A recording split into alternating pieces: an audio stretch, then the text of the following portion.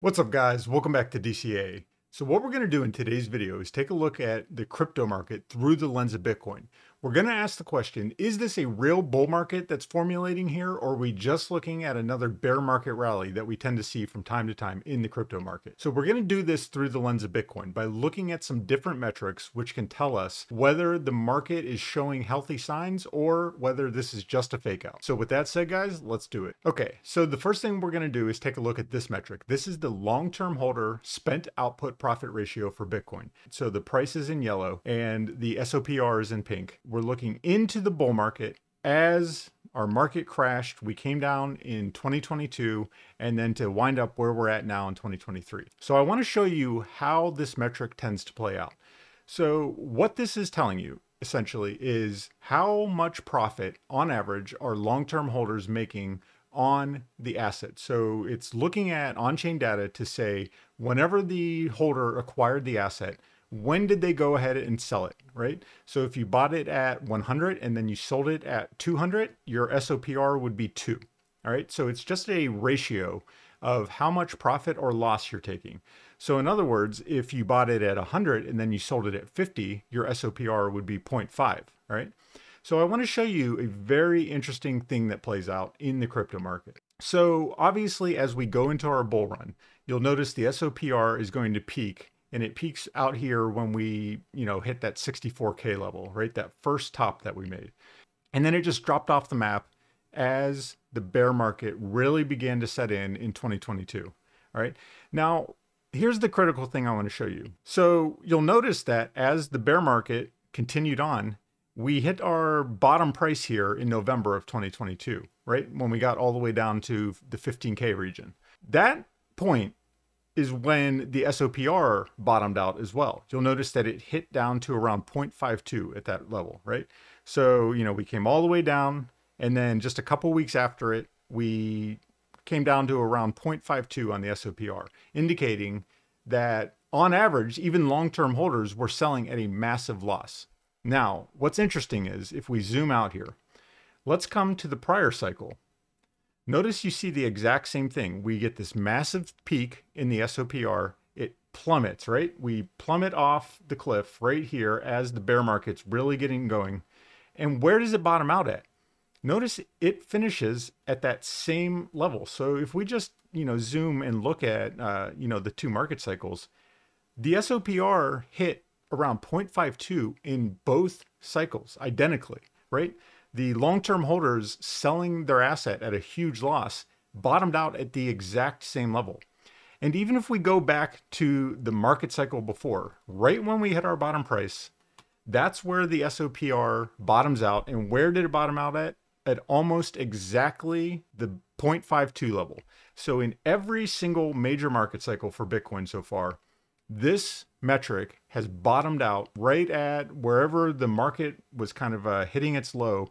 And in each case, it came down to around 0.50 to 0.52.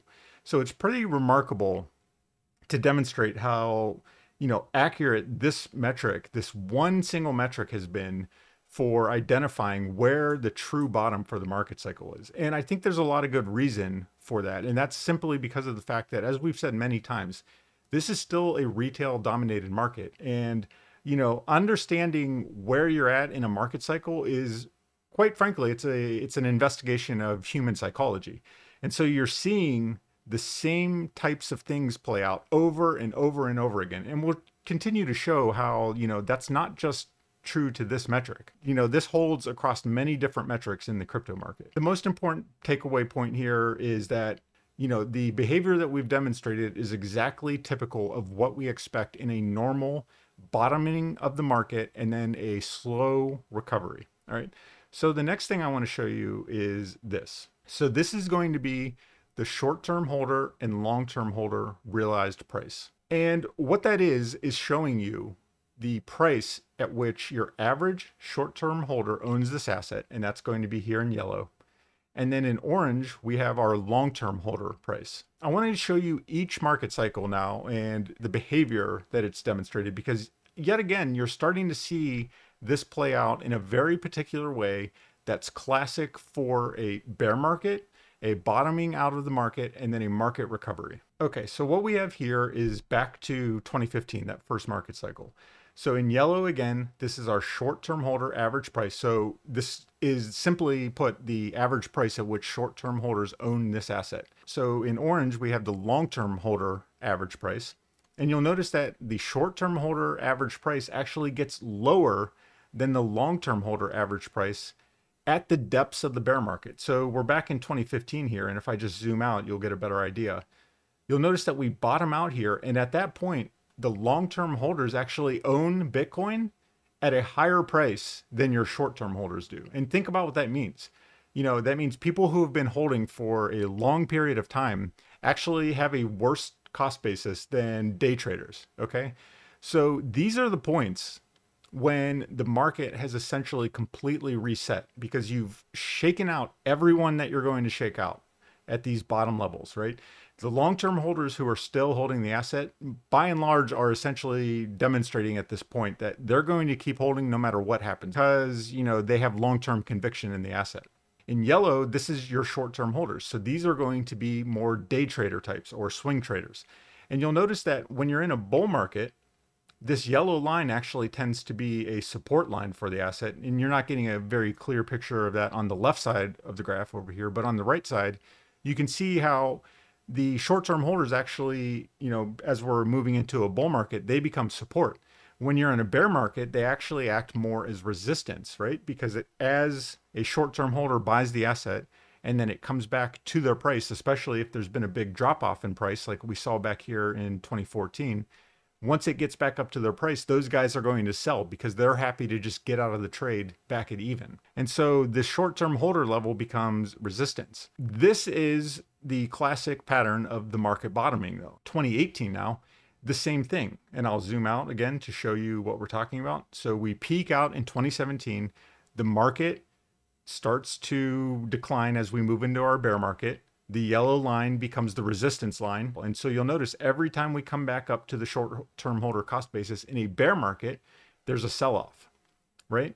And what you notice here is yet again, after we bottom, so we made our lowest price at around 3200 the long-term holder cost basis actually became higher than the short-term holder cost basis so that means people you know who have been holding for an extended period of time on aggregate they have a worse cost basis than your short-term holders your day traders your swing traders right which is very atypical that only happens at very critical junctures in the market so that brings us to this cycle yet again we fall into our bear market. You'll see this is the end of 2021 here, where we peak at 69K.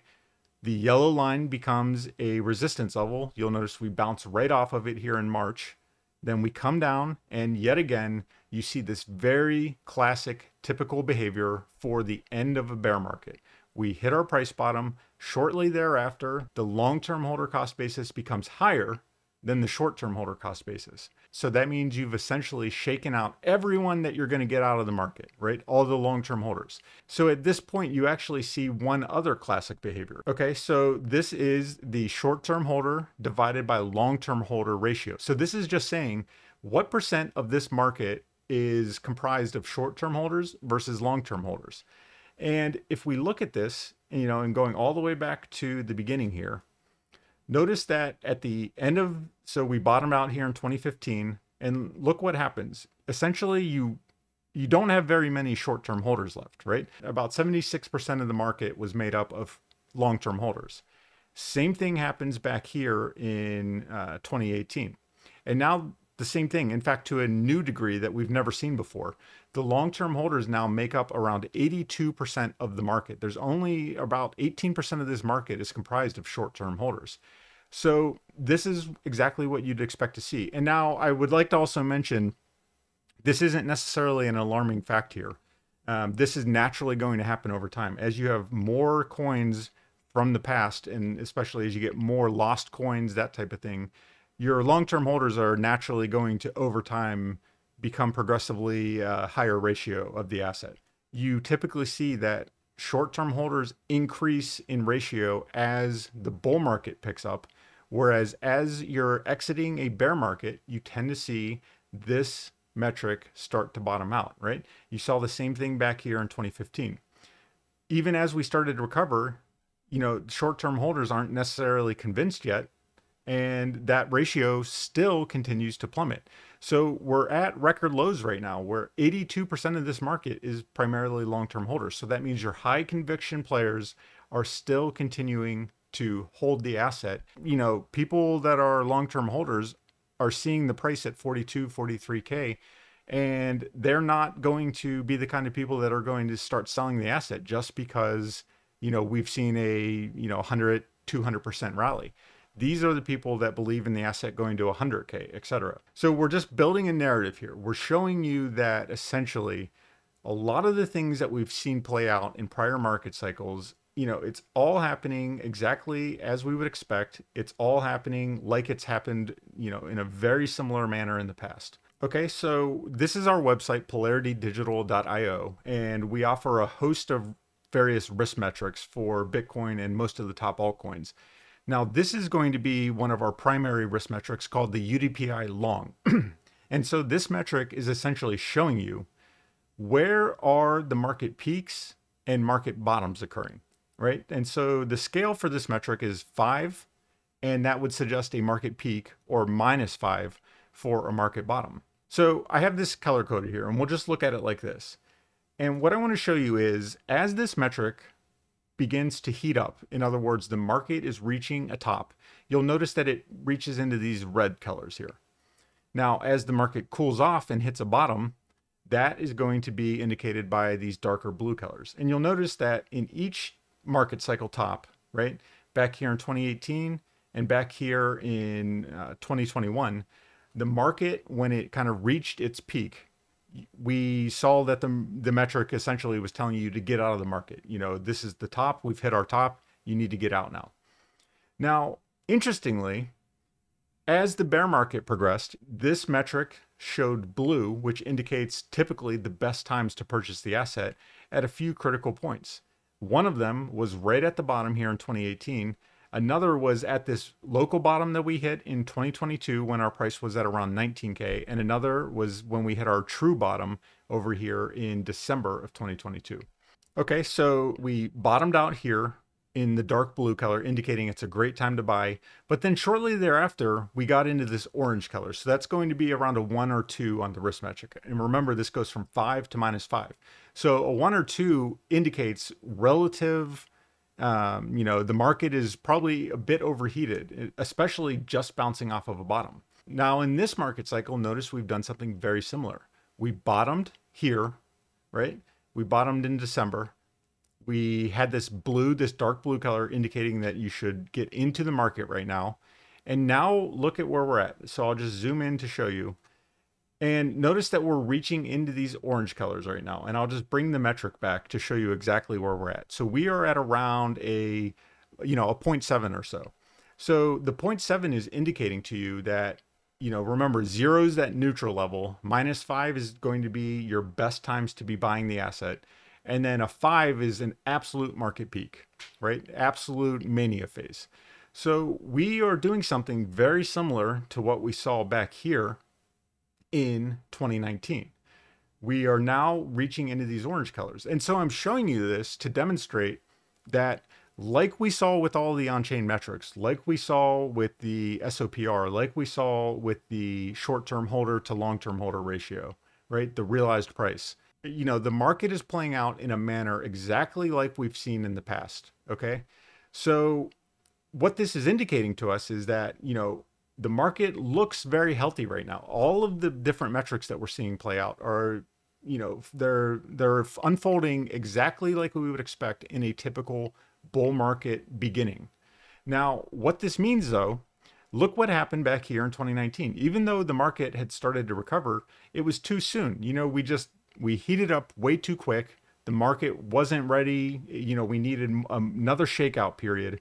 And so that could very well happen now. So people questioning whether is this a true bull market that we're starting to see or is it a you know, is this just another bear market fake out? I do tend to believe that we're seeing that this is a true bull market beginning that's playing out. But critically, for people that are FOMOing in right now, you know, we tend to see that these markets don't just go up. You know, th- there is going to very likely be a large correction. So let's go back to let's go back here to uh, 2015. That 2015 recovery was very slow. You know, it wasn't like the 2019 recovery where there was a massive price gain followed by a massive correction. But even in this this uh, 2015 recovery, notice what happened. There were actually, let's see, so we had one, two, three, four, five. Just by the beginning or the middle of uh, 2017, starting at the recovery, we had five separate corrections of around 40%. Now, let's go back to this 2019 recovery. And even here, if you look, we had one, and then if you want to count this one, another would be two, and then if you want to count this this correction that we had right here, three, four. So a total of four corrections of around 40 to 50%. And then if you want to go from top in 2019 down to the COVID crash, a 70% correction. But this was all part of a larger market cycle recovery, right? Where we were all the way down to 3,200. In spite of having this rally, you know, that we saw where we went from 3,200 all the way up to around 13K, a, thir- a 330% increase, we had numerous massive market corrections. And so, you know, people that are thinking that just because, you know, if the price were to go down to 30K over the next uh, two days, let's say, that would not indicate that this is not a bull market, right? Not necessarily, anyway. I expect that we will have multiple corrections, huge corrections. And why are those going to happen? They're going to happen in order to shake out the people that are FOMOing into the market right now. So if you've watched my channel, what have we been saying since back here, since December? I've been saying that guys, this market, a lot of the things that are happening right now are suggestive of the fact that we are in a bear market. So 2022, I was extremely bearish all year, getting flack left, right, and center from people telling me that, you know, no, we're going to, you know, this is just a correction as we're going to go into a new all time high. And based on all the metrics that we were seeing, I wasn't buying it. Then at the beginning of 2023, I started to show you metrics that were suggesting, hey, Look at this realized price. Look at what's happened with the long term holders. Look at what's happened with the short term holder to long term holder ratio. Look at how these are playing out exactly like we would expect them to. And I've been telling you this entire time, you know, we offer these risk metrics saying that do- dynamically dollar cost averaging into this market is a hugely profitable strategy if you're going from a bear market into a bull market. And so anyone who's been doing that is absolutely killing it right now. And I've showed, you know, a back test on the public channel and I just did an extensive back test on the Polarity Digital channel where I showed that, you know, even back uh, when we were down here in the 30Ks, you were up 100% or so just on Bitcoin, even if you started dollar cost averaging at the beginning of the bear market, even if you were buying Bitcoin at 56K, if you were dynamically dollar cost averaging with the risk models, you were up around 100%. Now that we're up at 44K, I haven't done another back test, but you know, just based on looking at my account, you know, it's probably something like 150% or so that you are up right now if you've been dynamically dollar cost averaging. And I made video after video after video in 2022 saying over and over again, guys, I don't know if we're at the bottom right now when we hit, you know, 29K. I don't know if we're at the bottom. I don't think we are, but I'm still dollar cost averaging right now because in the long term, I believe that this is going to be, you know, just a, a bump in the road, even if we do go down from here. When we were down at 20K, I said, I don't know if we're at the bottom. I don't think we are but I'm going to keep dollar cost averaging, etc. And I kept saying that even as we were down at 15K, I'm still dollar cost averaging. So I'm using my dynamic dollar cost average risk strategy in order to enter this market. So when we're up here, I told you, hey, I'm not buying very much right now, but I am buying. I'm not buying very much right now, but I am buying when we're at 30K. When we're down here at 19K. Now I'm buying a lot. I don't know if we're at the bottom. I don't think we are, but I'm buying a lot. Same thing at 15K you know 16k i'm buying a lot because i'm using the risk metrics in order to help me understand where the market overall may be with relation to the actual suspected bottom based on everything, you know, the machine learning algorithm models that we're using. Okay. So now that we're working our way up, I was continuing to dollar cost average all the way up here to around 30K. But as we go up higher and higher, much less so because the metrics using the risk metrics is helping you get into the asset, right? And so now that we're up here at 44K, I've been acquiring Bitcoin for a full on, you know, uh, essentially two years at this point, right? All through 2022 and then all through 2023. And then if you're using the risk metrics, you're doing it dynamically such that you're buying more when you're down at these lowest levels. So buying the most Bitcoin by far down here at 16K, down at 20K. And now we're at 44K, just absolutely killing it throughout this market cycle. All by using these very basic metrics, which just show you simple human psychology.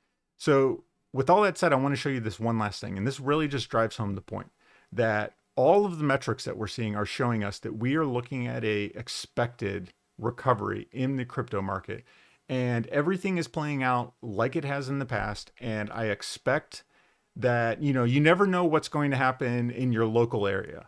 Um, we could see another big correction and you it's difficult to know exactly when those are coming right but we're looking at the big picture here. I don't care about, you know, the day-to-day stuff. I don't care about a 30% correction or a 30% gain. That's very small picture type stuff. And, you know, I'm not investing in the crypto market with all the risks that are associated with it in order to gain 30, 40, 50%, even 100%. I'm looking at long-term picture, you know, multi-year strategy where if you're you know if you're sticking to your strategy if you're looking at the metrics it, your your gains that you're going to make are going to be absolutely massive. So when we're looking at these things, these aren't like day to day. You know, if you're expecting this to be a day trading channel, that's not what this is. Very likely, you won't find much here for that. So everything that we're seeing has happened in the past, and we're looking at what, in, in my opinion, is a healthy, slow market recovery. So here we have the Bitcoin active addresses in, and we're looking from 2018 as we go into this bear market and then our recovery. 2018 all the way through about 2020, the beginning of 2020. So we have active addresses, hash rate, and transactions. So notice as we peak here, right? As we peak, look at our active addresses. They crash as we're moving into our bear market. Then we hit this bottom and they slowly start to recover, right? We recover into 2019. Hash rate continually rises over time as your miners continue to believe in the asset long term. And our transactions, the same thing. We peak, but then look what happens, guys. We have a big drop off, right? Active addresses drop, transactions drop. And as we go into our bull run, they start to recover. Now, if we come into this cycle, you're seeing the exact same thing. Look at our active addresses. We dropped off the cliff here in 2021 right? And even with this smaller recovery that we had, the active addresses didn't even get close to where it was in the past. But look what it's done since the end of 2021 into 2022. We bottomed, so did our active addresses, and now it's slowly recovering, a healthy recovery. Hash rate reaching to new all time highs constantly, transactions reaching into new all time high levels.